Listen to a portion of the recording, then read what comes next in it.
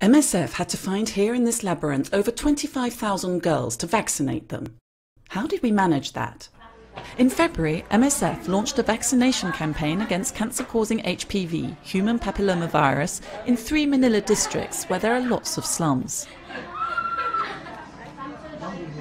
Twelve women die of cervical cancer every day in the Philippines. The vaccine requires two separate doses. During the first round, 25,000 girls aged between 9 and 13 years were vaccinated. Early August, we needed to find them again to give them the second dose. A huge challenge. To get a better idea, let's go to Tondo in the north of Manila. We're in Tondo in an area called Aroma. We're accompanying social workers from local association Likhaan, whose goal it is to find the girls who've had the first dose of the vaccine. They're called community mobilizers. Kilala niyo po? Ah, building 6 po namin siya hanapin. Sige po, salamat.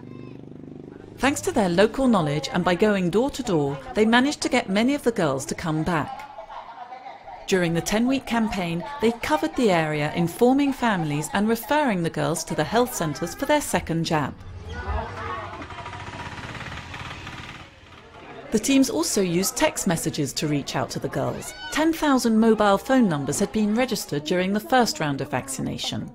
Families of the girls who'd had the first dose received two types of text messages information messages explaining cervical cancer and reminder messages. Typically, with this kind of campaign, we'd expect to reach 60 to 70% of people who'd come for the first round. But the methods implemented for this one enabled us to remobilise almost 90% of the 25,000 young girls and give them the second dose. So, why, when the government had already organised a campaign with vaccines free of charge in the country's poorest provinces, did MSF and its partner step in in Manila? Manila, the capital of the Philippines and a relatively rich city, was not included in the government's large scale campaign.